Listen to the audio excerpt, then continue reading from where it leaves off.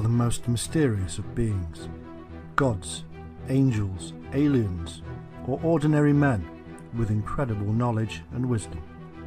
Nobody is sure.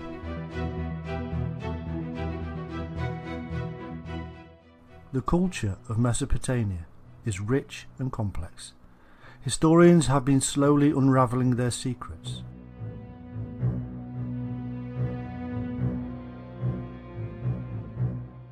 From the Epic of Gilgamesh to the many references of them in other cultures, the mystery of the Anunnaki is becoming more clear.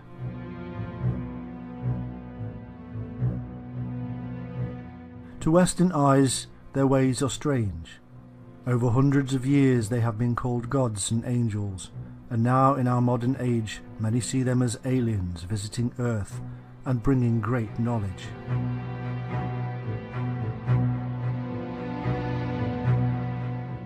The truth of their real origin and purpose is much more bizarre and amazing than anything previously believed.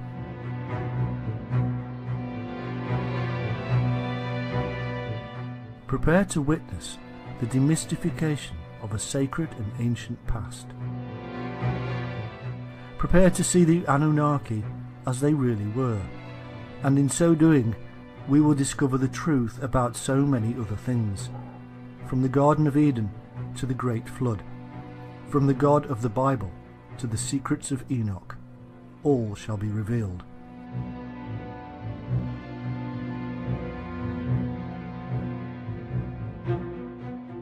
In truth, the Anunnaki are a group of ancient Mesopotamian deities. They are to be found in Sumerian, Akkadian, Babylonian, and Assyrian cultures. The exact numbers, descriptions, and roles all contradict each other. According to the earliest Sumerian texts, the Anunnaki were the most powerful of gods in the rich pantheon and were descended from An, the greatest of the gods.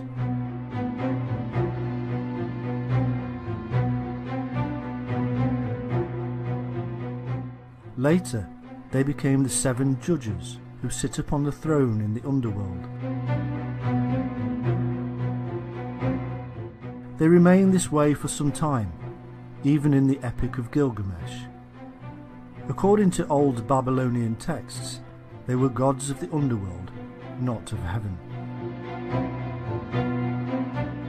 The name simply means offspring of Anu or An, the sky god, and Ki.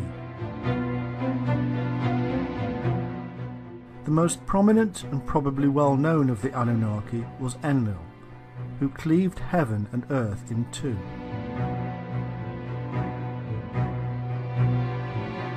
Anu decided to take the heavens and left the earth to Enlil and Ki. Ki is most likely the Sumerian version of the mother goddess, seen in cultures across the globe.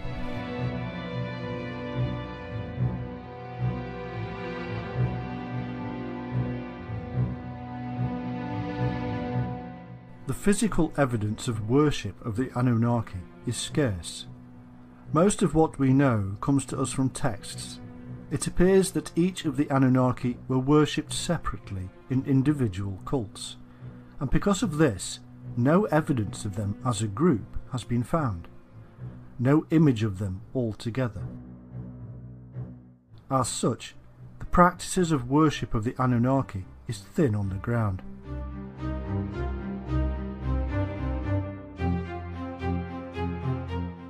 The first mention of them is to be found in the reign of Gudea of the third dynasty of Ur. It is a term used to denote the most important deities of the Sumerian pantheon, the descendants of An.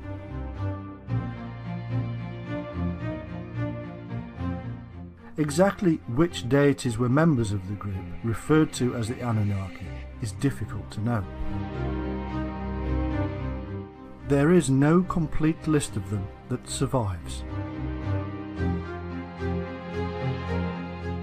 One of the texts mentions 50 or so members of them associated with the ancient city of Eridu, and yet when we read of the descent of Inanna into the underworld, there are only seven.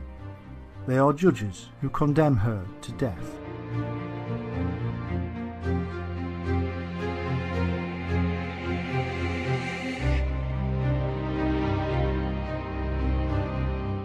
There is a group of deities known as the Igigi, and they are sometimes confused with the Anunnaki. However, in the poem of Ira, both groups are different. In one flood myth, the Igigi are sixth generation gods who perform labours for the Anunnaki. However, after 40 days they revolt against their masters, and so Enki, one of the Anunnaki, replaces them with humans.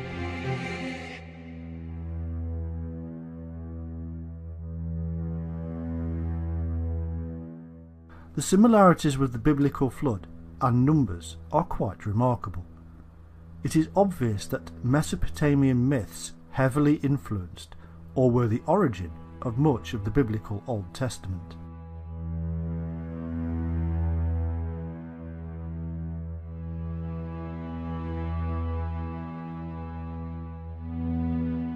In the Babylonian creation text known as the Enuma Elish, the god Marduk divides the Anunnaki and gives them roles.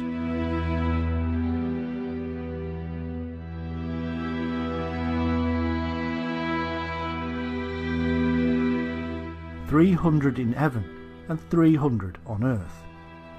As a thank you, the Anunnaki built Esagila as an abode for Marduk, Enlil, and Ea.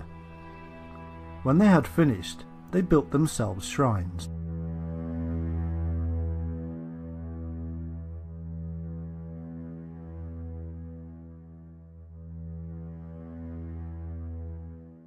In later Assyrian texts, they were offspring of Anu and Ki, who were brother and sister, and themselves children of the gods of the celestial poles, and whose heritage stretched back to the original gods Tiamat and Abzu.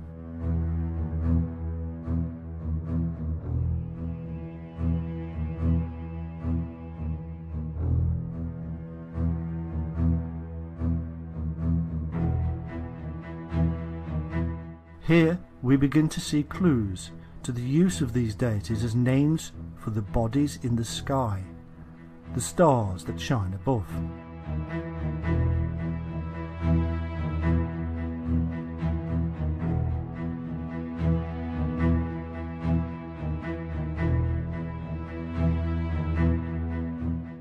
This, then, is the brief knowledge we have of the Anunnaki.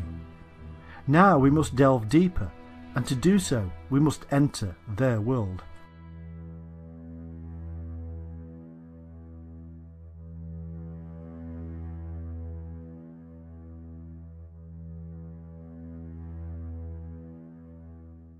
Appearing out of nowhere, and at least as early as the 5th millennium BC, the earliest known civilization, the Sumerians of Sumer in Mesopotamia, was initially a non-Semitic culture. By 3000 BC, and as a result of its sophisticated irrigated agriculture, Sumer flourished as a nation and developed a considerable power base through the development of its numerous city-states like Ur, Erech, Eridu, Lagash and Kish.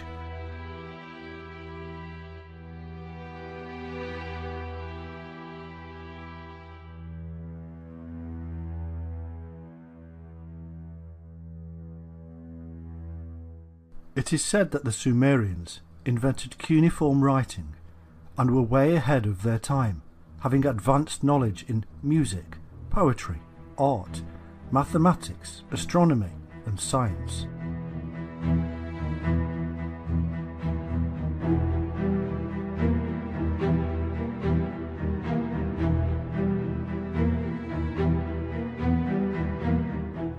The ancient Sumerians, music was a tool that helped them describe the cosmos. The Sumerians were later conquered by their long-term rivals, the Akkadians, under Sargon I. The Akkadians were a Semitic people, whose city Akkad was their capital.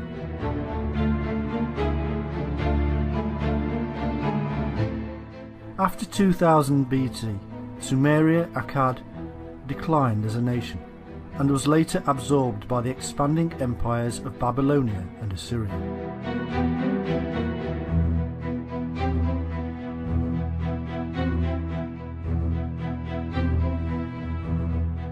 In Sumerian creation myth, the angels, known as the Anunaj, Anunnaki, or great sons of Anu, were the founders of their culture.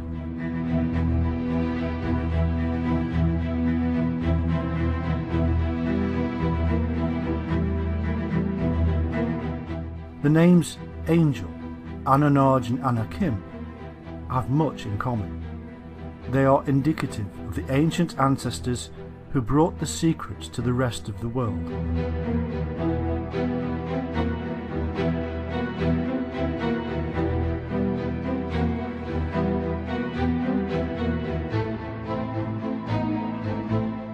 Interestingly, Anunnaki is phonetically similar to the Hebrew Anakim, the giant race who appear in the story later, and also Anger Angakok, the shaman from Greenland to Alaska. They were known as the Shining Ones.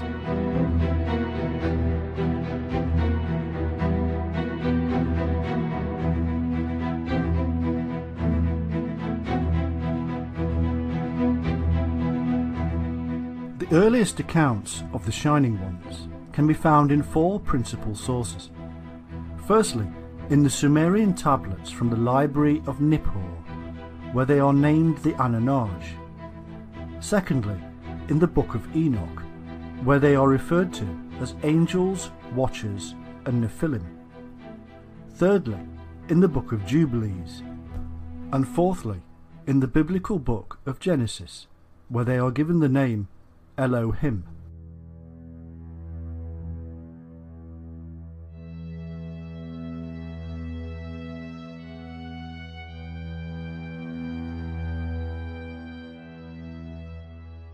The Sumerian El is usually translated as God, but the feminine Elohim is the plural of El.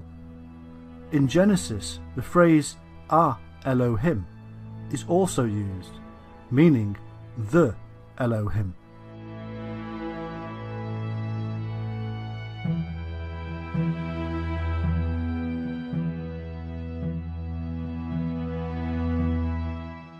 El means brightness and shining. Indeed, the Semitic word El is found in many ancient languages. For instance, the Anglo Saxon elf means shining being, and so El needs to be translated not as God, but as the Shining One, and Ah Elohim, being plural, should read the Shining Ones.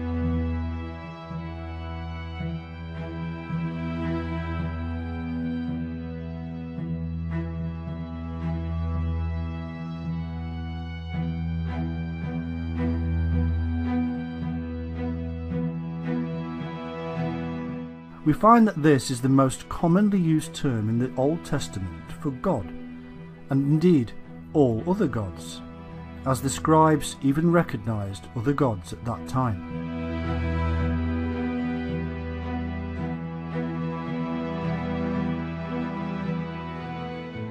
The name Sumer comes from Shumer and means literally the land of the watchers.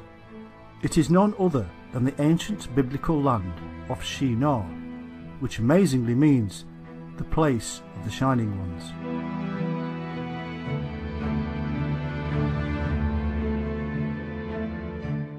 The Shining Ones are in the Bible and have been there ever since they wrote themselves in.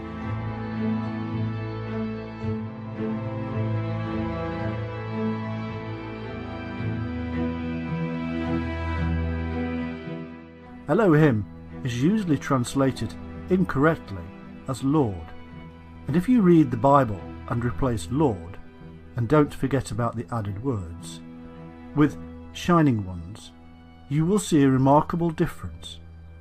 A reading now of how it was meant to be. We now have the shining light of knowledge, spoken of in 2 Corinthians 4 6. The Lord God of the Bible is the light who gives birth to the divine spark of Christ. A pure reading of the global understanding that God was the basis for illumination, the fire, the sun, the light, and heads of those that shine from that brilliance, the source of intelligence itself.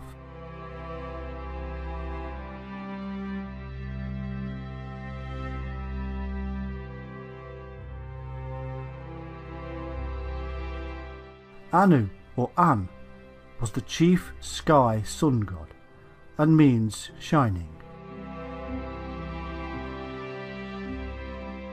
The Anunaj therefore means sons of the Shining One, or sons of light.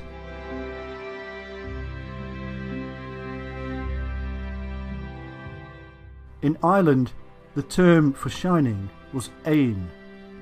There may be a connection here with the Tuatha De Danann, the Shining Ones of Ireland, and the serpent cult that St Patrick had removed from the Emerald Isle.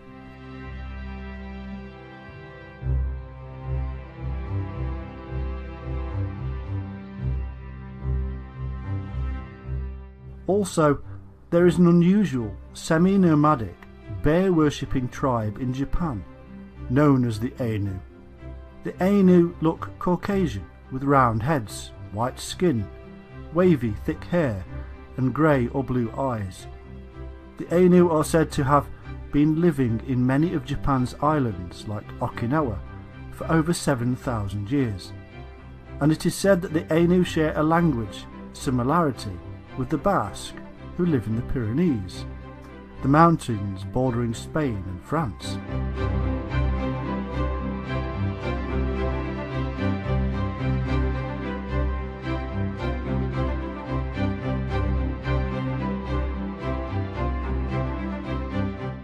Also interesting is the fact that in these Ainu regions a number of stone circles have been found with a slender, upright stone in the centre, similar to those found in the British Isles and elsewhere.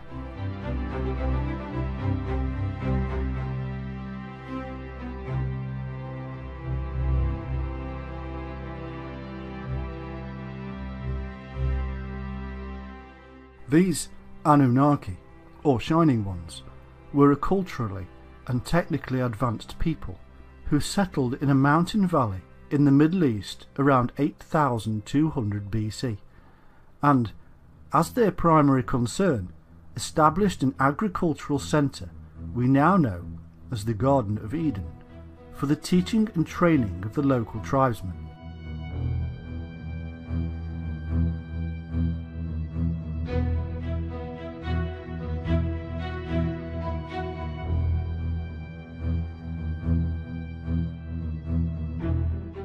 They were described as the shining countenanced lords of cultivation, elevated to gods.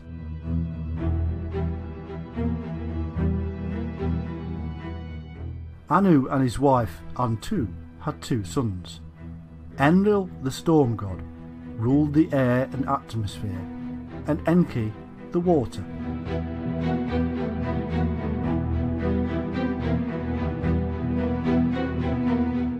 Enki is also the wise teacher, known as Ea or Oannes, who led the fish beings that came from the sea, or indeed from across the sea.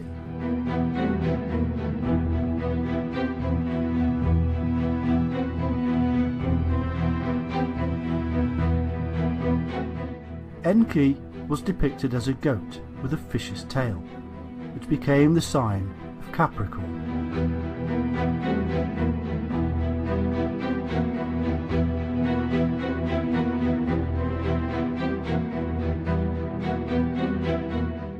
Enki or Ea's consort was Ninki or Damkina, and their children were Marduk and Nanshe. Enlil, also known as Bel or Baal, and whose patron city was Nippur, later ruled in Anu's name. Ninlil or Ninkharsag ruled the earth. The early Sumerians described themselves as constantly nourished by the milk of Ninkharsag, the great mother moon goddess. The Syrians knew her as Atargatis, the mermaid.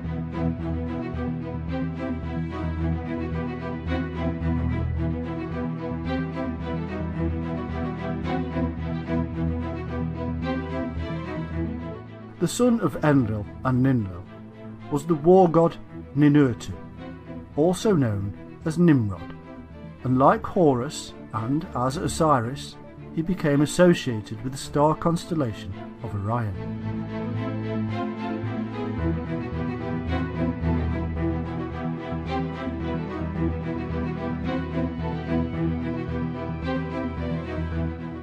We also have Nanna, who was the moon goddess, and Utu, a sun god, also known as Ogmash and Shamash. It was Shamash who later given the 29 laws to King Hammurabi.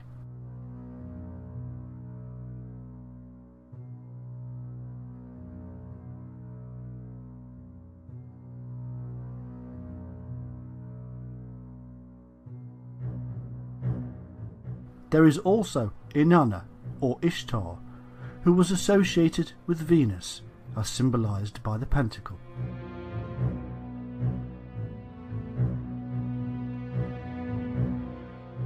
The texts that we have on the Sumerian deities vary. In fact, they evolve over time, losing some of their historicity as the story develops, making it more and more difficult to see the origins.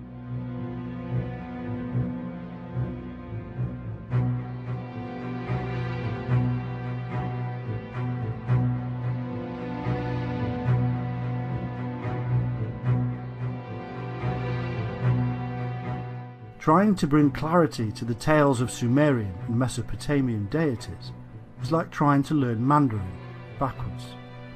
However, due to the names we are given, such as Enki for instance, who is identified with Ea and Oannes, we're being led to cross-reference the Anunnaki with the fish beings, who seem to have come ashore in Sumeria from the Red Sea and the Persian Gulf, and at a time which is now lost in antiquity.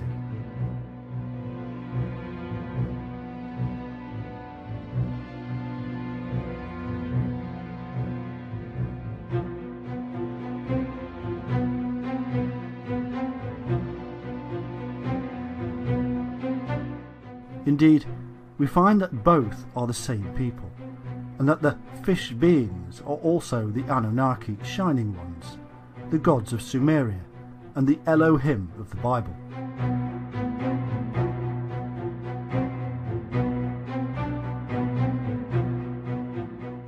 And when we then cross reference these fish beings with the Neta gods and the Shemshu Or, or Aku, and whom it is said appeared in Egypt from a submerged island, we also have to include the origins of the Hindu Naga, serpent deities, who also came from a lost island.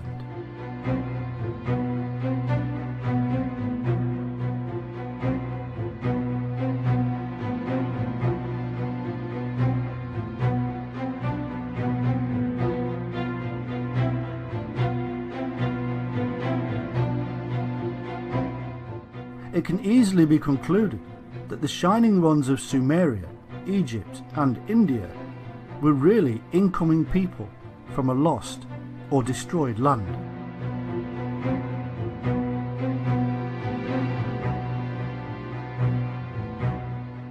These connections allow us to piece together their story and see a little more of their historical territory, much of which has been lost or deliberately hidden from us.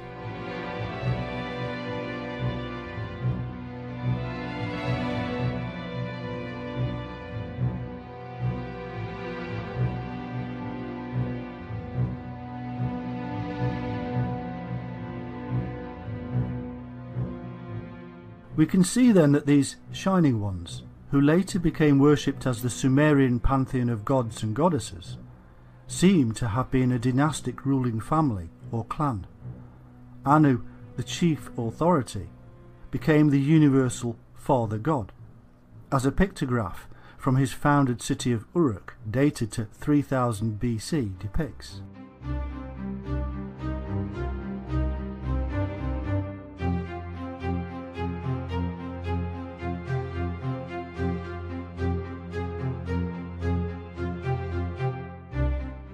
The lineages of all these deities are mixed, with sisters, wives, mothers, fathers, brothers, and sons, intermingling and confusing the whole thing.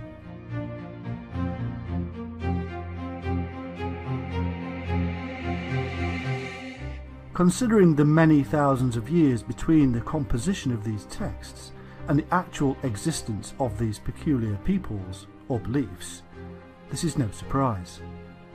What is clear is that certain deities do continually stand out from the crowd, namely Anu, Enlil, Enki, Ninkharsag, Inanna, and Utu Shamash.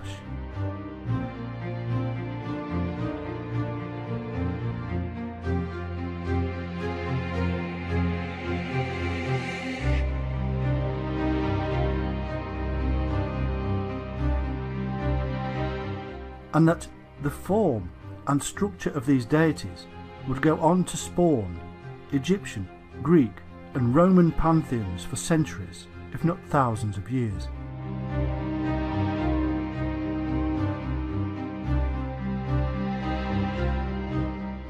No wonder then that the Watchers, the military arm of these Shining Ones, should in later myths be doing battle with the gods of Greece, Egypt, and Rome not to mention the rest of the world.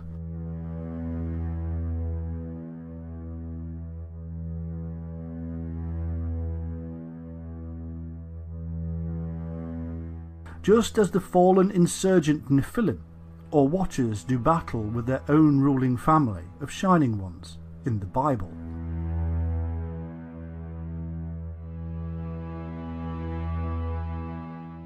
One interesting detail we should perhaps mention is that like Osiris of ancient Egypt, Enlil was depicted as a bull, and like Set, his brother, Enki of the Abzu or Abyss, was depicted as a serpent.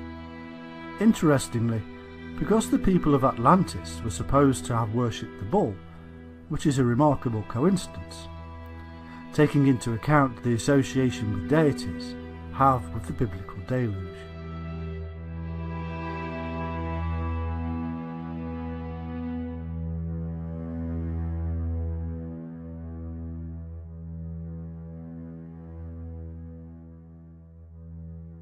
It is said that Enlil, who took over as the leader of the Shining Ones, lived for thousands of years. But those who use this to show that these Shining Ones were special beings that originally came from another world, or even another dimension, forget one thing that Enlil was a term used for the leader and was thus passed on, like the term king or pharaoh is passed on.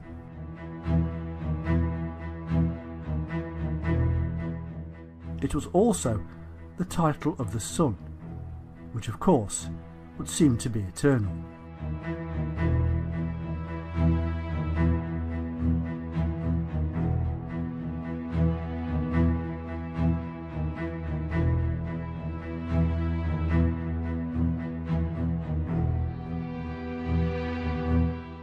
Part of the Sumerian creation myth states At Kharsag, where heaven and earth met, the heavenly assembly, the great sons of Anu, arrived, the many wise ones. The Anunnaki seem to have arrived from another land across the sea. They brought with them special knowledge, unknown to the previous inhabitants.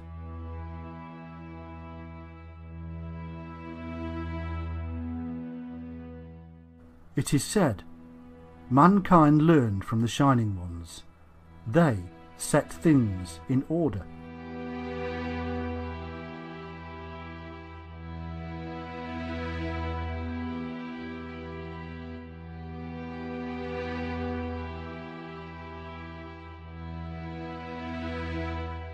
we could ask why they felt they had to set things in order.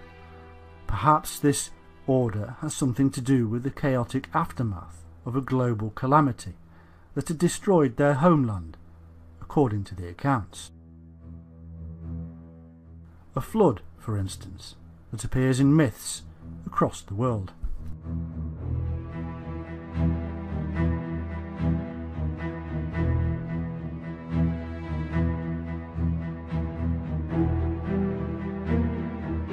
In the famous Sumerian kings list, we are told that the Anunnaki ruled in Sumeria, both before and after the deluge, and that it was after the deluge that they then set kings on the throne to govern the land and rule in their stead. However, if we are to believe the accounts given of the fish beings, we are also told that these shining ones had first come ashore from their submerged land after a similar catastrophe, an earlier one than the deluge related in the Bible and other sources.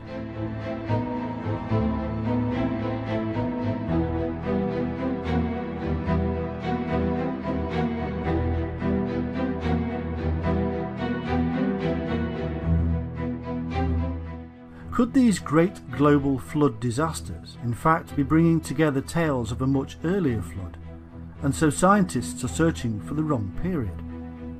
It's possible that the Shining Ones knew when these catastrophic events were going to happen and had predicted the deluge, hence Noah being warned to prepare for the event.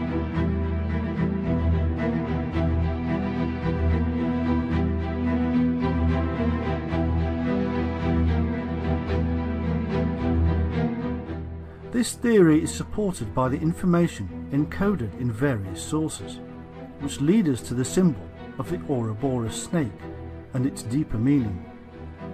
It is as if, again, these people had profound knowledge of cycles, and in particular the 25,800 year precessional cycle, which was believed to have begun with the tilting of the Earth from its upright position.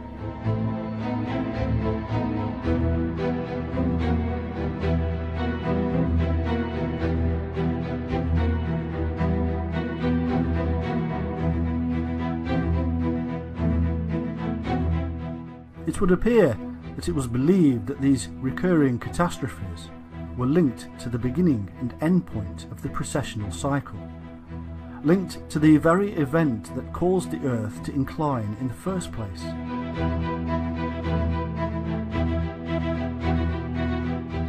This does not necessarily prove that the Earth's axis was once upright. However, it does mean that it was believed the axis was vertical, and thus revealing an amazing knowledge of the heavens and Earth's place in it.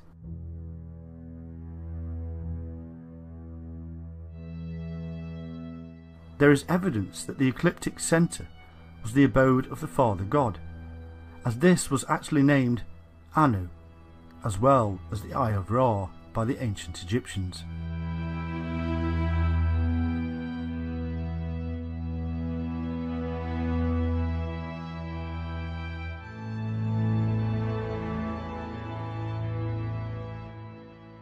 Also, the ancient astronomers of these Shining Ones must have believed that the precessional cycle was linked with the Earth's own life cycle, or reincarnation cycle and so the earth, being upright, would bring a more harmonious and balanced existence.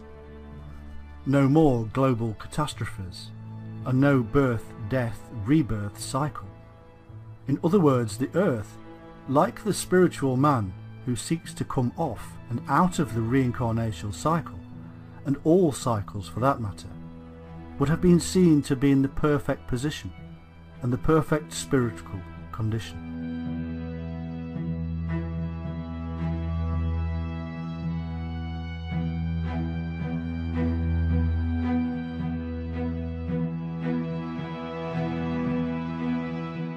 We also find that these people are also termed Igigi, which was also the name of the king after the flood.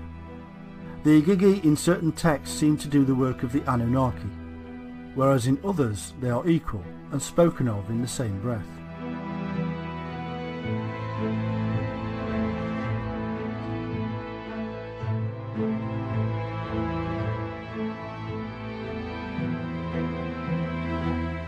In the Epic of Anzu, the Igigi are superior in the sense that the Anunnaki are of the Abzu, or the deep.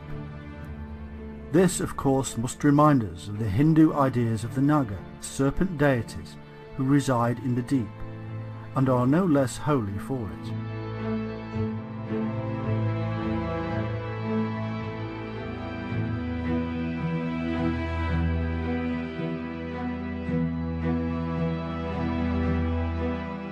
In the Sumerian account, Ninlil, or Ninkharsag, Lady of Kharsag, the wife of the leader Enlil, asked the Council of Seven to create her an Eden.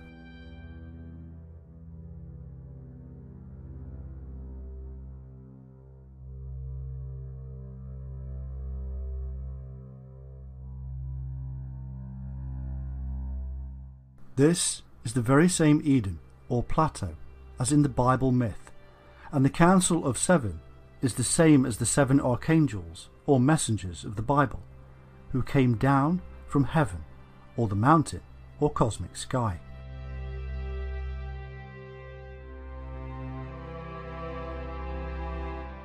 Sumerians referred to E-Din as the abode of the righteous ones,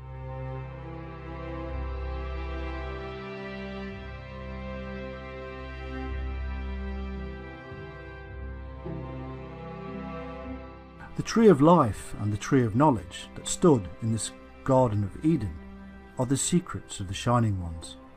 Secrets which will stay with them for thousands of years, to be told only to the highest shaman adept, priest, avatar, or prophet.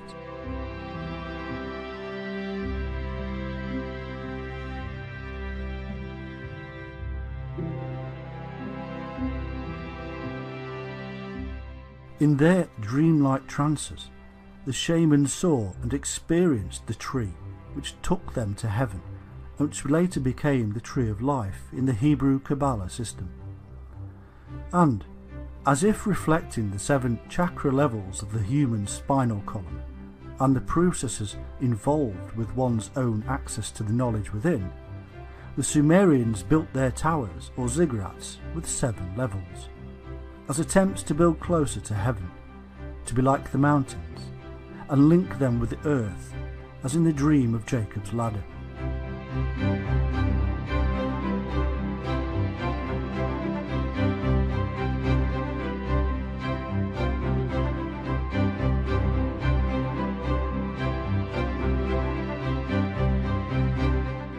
It is said that these shining deities also lived at the top of the ziggurat or pyramid, the great house. We now know what the ladder and these temples really stand for symbolically, but was Jacob's ladder a similar construction somewhere in the Near East?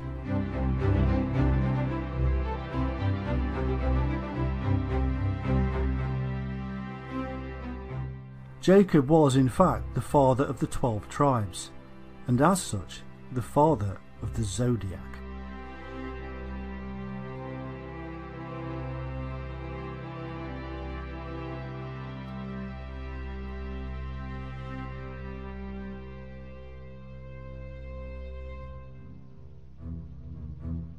Reuben, Jacob's first son, was Aquarius, hence the reason he was unstable as water. Simeon and Levi were the brothers, and hence Gemini. Judah is the lion, and Zebulun is Libra, the ship. Gad is Pisces, in that it is a reversal of the fish serpent god Dag, associated with Dagon, Oannes, Ea, and Enki. Dan was of the tribe of serpents, an adder in the path, who, falleth backward into the winter solstice, which means is Capricorn. This is the same as the later Dani-El, again the shining serpent Capricorn who traverses the heavens.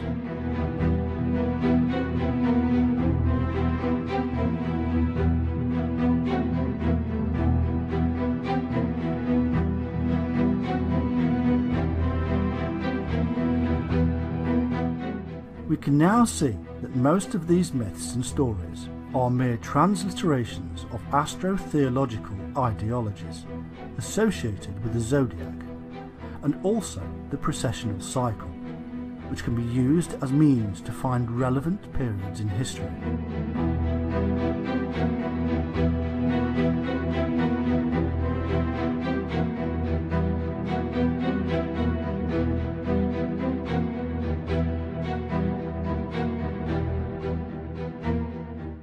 Precessional cycle is intimately tied in with our own life cycle, and so we find that many of these epithets given to individuals in history who may or may not have existed are really part of a code.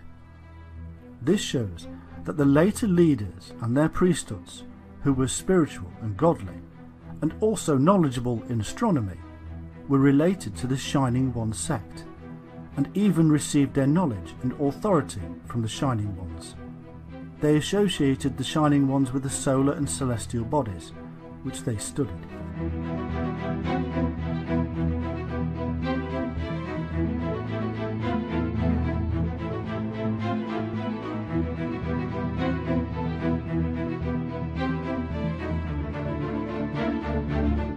The seven Shining Ones, or seven sages of different cultures, later became the gods, in men, incarnated as man, only then to be reunited with the Father God after death.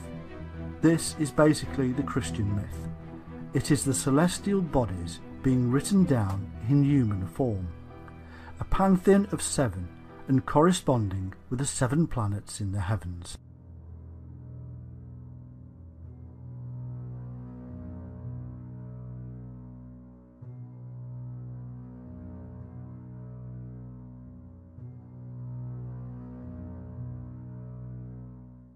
The phrase, where heaven and earth met, is symbolic of the sacred mountains, and this gives us the clue that this could be somewhere with impressive heaven-like mountains, such as Tibet, perhaps even the ziggurats of Mesopotamia, or even the pyramids of Giza. Seeing as these temple constructions are based on the shamanic world mountain,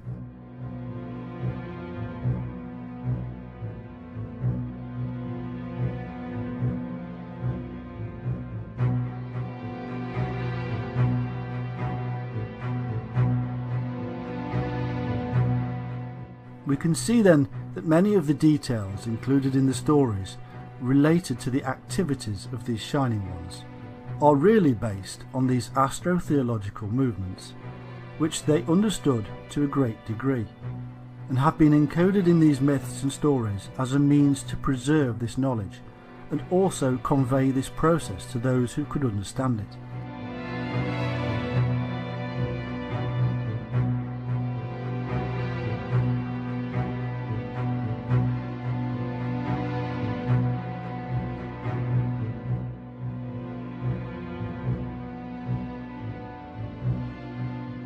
They added encoded information, which also makes these stories somewhat confusing.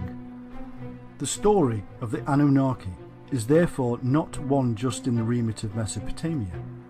It is in fact a universal system, observed in the sky, and this is why similarities can be found across the world in ancient cultures.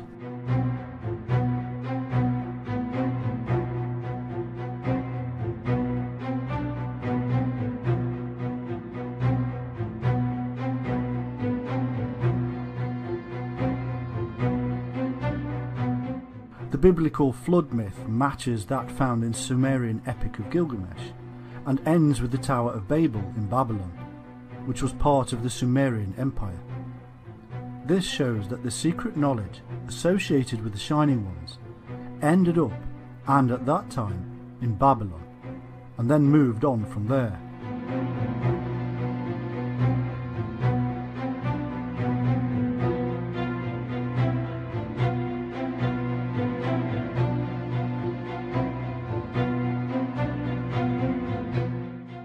Search for the Shining Ones, we have come across numerous groups, cults and religions. In ancient Sumeria, we find the Egregor, or Watchers, who are thought to be the angels of the Lord from the Bible, and again the numerous epitaphs given to them tells us they too were the shining ones. Enoch wrote about them, in fact for them, in the book of Enoch, which was later suppressed.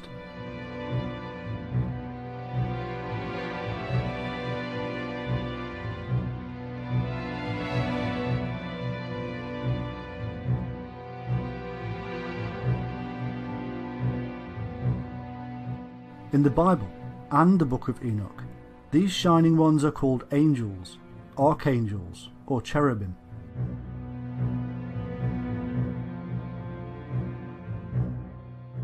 Unless the literature is purely apocryphal, we find that in the Bible the angel figures are simply earthly men. In the Bible, we do not find angels with wings. There are no original stories of them being supernatural. They are, in fact, quite ordinary. It is always Gabriel, meaning man of God, who informs the people of a coming childbirth. Was he the shaman, the doctor?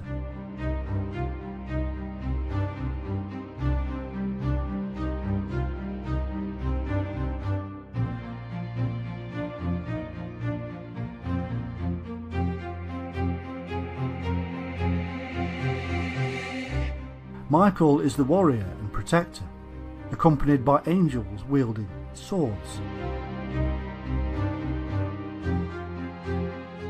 Each and every one of them has their own specific duty, an earthly duty.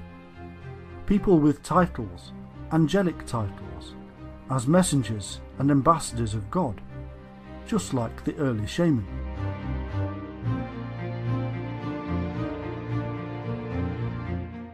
The title cherubim means exiles and could be an indication of the origins of the angels. Maybe they were ordered to leave somewhere for not conforming. Perhaps Eden, where they had previously been the watchers or guardians of the garden.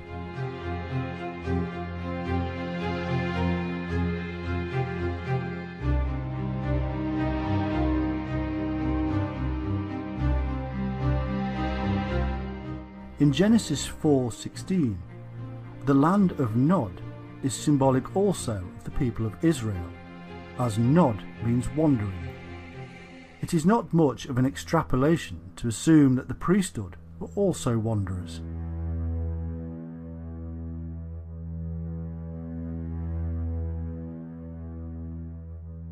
Another example of symbolic titles is that of Enoch, which means consecrated.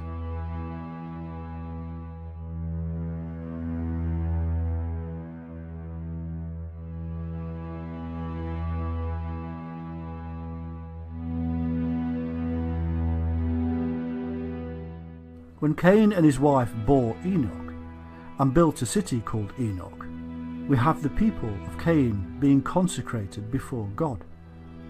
Enoch, the consecrated one, would later write up the history of these fallen wanderers who spread across the globe as the great shining ones, teaching, measuring, and building the world's most mysterious ancient monuments.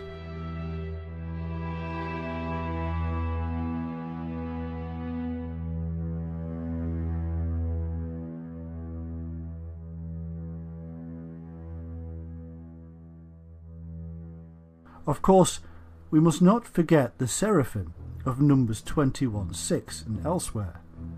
These are not mystical beings.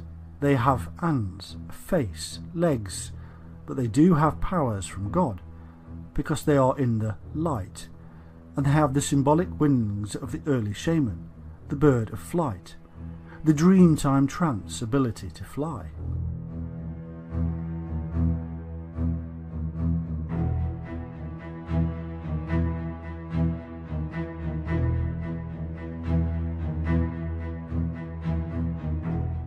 Their name means shining ones or fiery serpents. They are enlightened beings via the power of the serpent.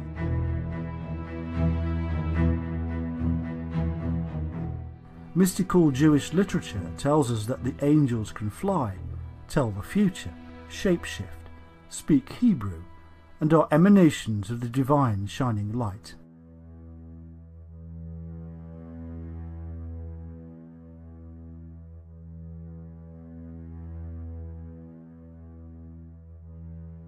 In the Old Testament, God is indistinguishable from the angel or messenger, known as Yahweh.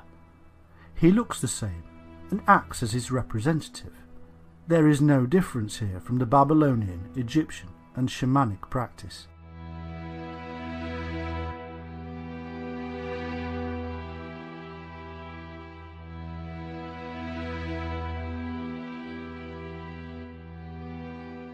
In the New Testament, the angels actually take part in the judgment at the end times.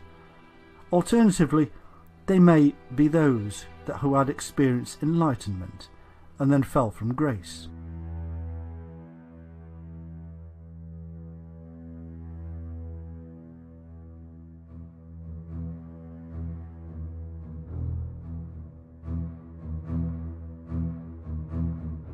We are told that the Nephilim or watchers, began to mix with the indigenous people. These were the angels who seem to have been the military arm of these Shining Ones, and who were initially employed to guard the Garden of Eden.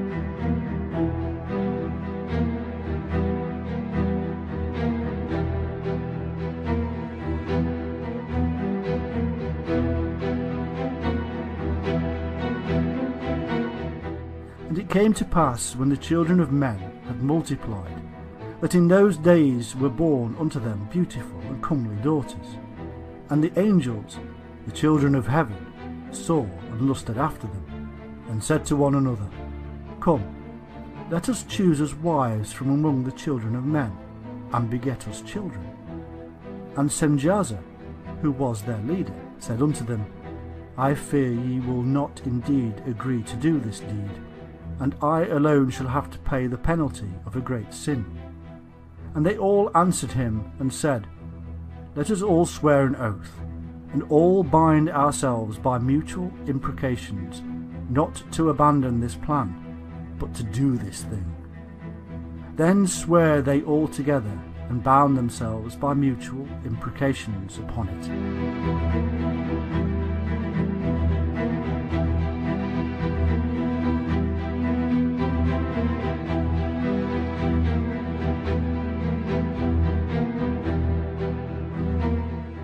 From this union, a hybrid race was produced, a race of giants, so we are told.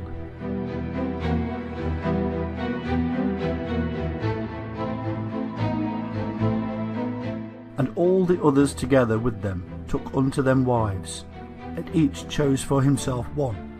And they began to go into them, and to defile themselves with them. And they taught them charms and enchantments, and the cutting of roots, and made them acquainted with plants. And they became pregnant, and they bare great giants whose height was three thousand ells, who consumed all the acquisitions of men. And when men could no longer sustain them, the giants turned against them, and devoured mankind. And they began to sin against birds and beasts and reptiles and fish, and to devour one another's flesh, and drink the blood. And then the earth laid accusations against the lawless ones. And then Michael, Uriel, Raphael, and Gabriel looked down from heaven and saw much blood being shed upon the earth, and all lawlessness being wrought upon the earth.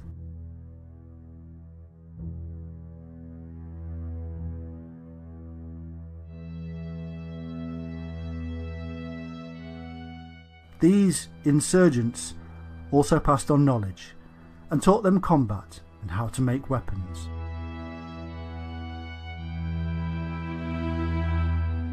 And Azazel taught men to make swords and knives and shields and breastplates, and made known to them the metals of the earth and the art of working them, and bracelets and ornaments and the use of antimony, and the beautifying of the eyelids, and all kinds of costly stones and all colouring tinctures. And there arose much godlessness, and they committed fornication, and they were led astray, and became corrupt in all their ways.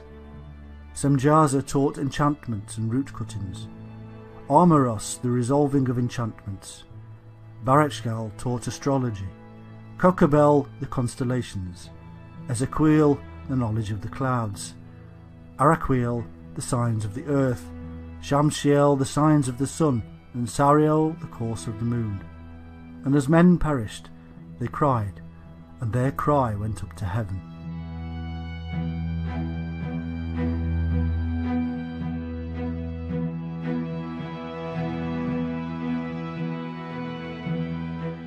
And all this was seen as a violation against the set of laws laid down by the Shining Ones, who were possessive of their knowledge.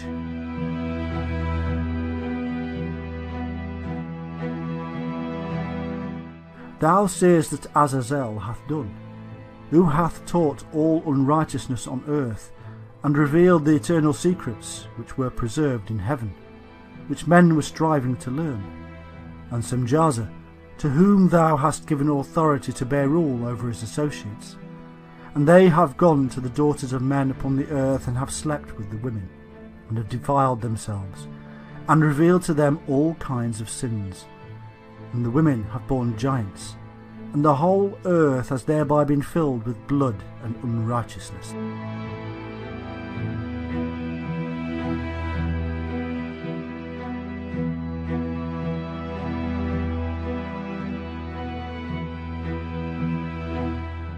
Enoch, a scribe, who was taught by the Shining Ones, was then employed as a messenger or intermediary between the Shining Ones and these fallen ones, who had decided to abandon their divinity to live amongst the tribes of man.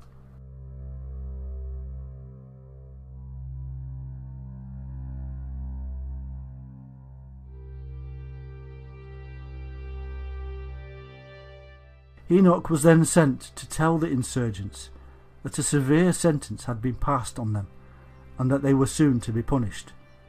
In brief, the punishment sent is the flood.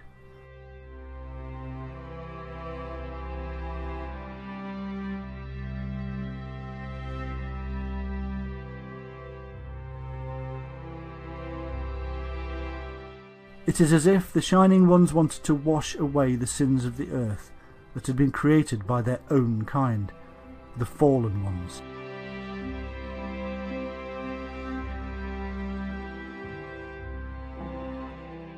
In the Bible, we are told that God, or rather the gods known as Elohim, spoke to Noah, telling him that the seasons of summer and winter would be more extreme from the time of the flood onward.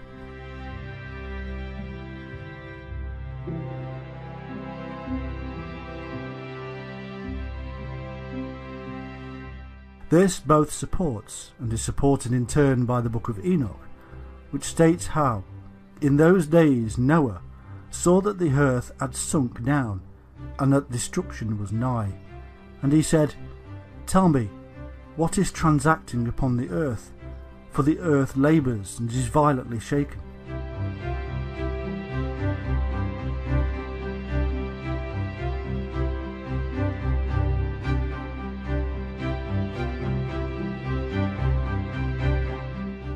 In the King James Version of the Bible, we find this Behold, the Lord maketh the earth empty, and maketh it waste, and turneth it upside down, and scattereth abroad the inhabitants thereof.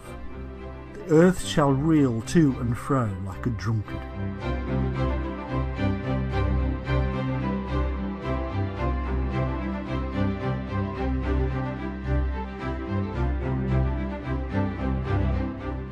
In Psalm 68:8 it is written, The earth shook, the heavens also dropped at the presence of God, and even Sinai itself was moved at the presence of God.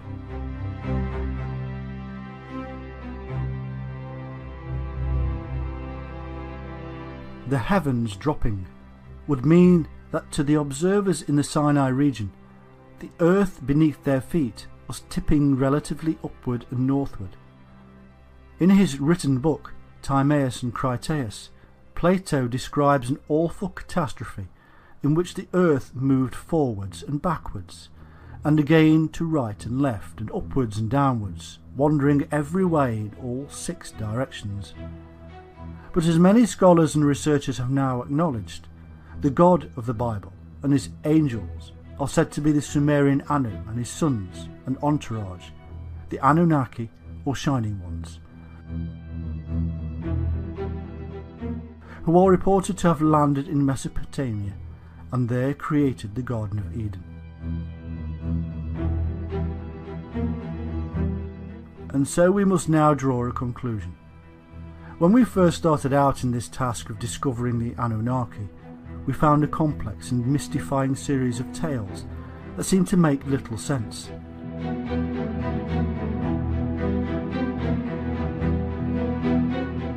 Slowly, we have pulled apart the names, places, and myths uh, to reveal something very simple.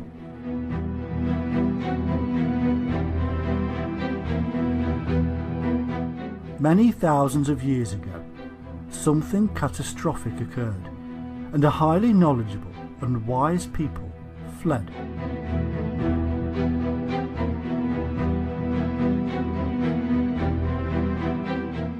They eventually landed somewhere in Mesopotamia, where they came across a less developed people. Civilization emerged as the new people taught their new people how to build, mathematics, astronomy, agriculture, and much more.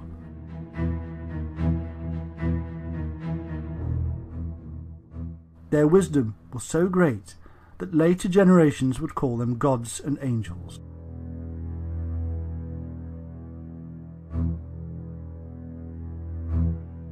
They had descended from the shining heavenly host, but divisions set in as the two cultures bred and made the bloodline less pure.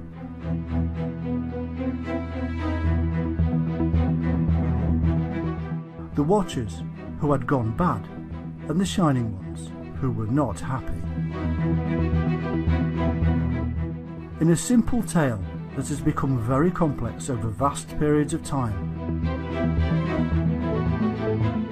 in our age it is being confused yet further by the addition of extraterrestrial origins for the Anunnaki.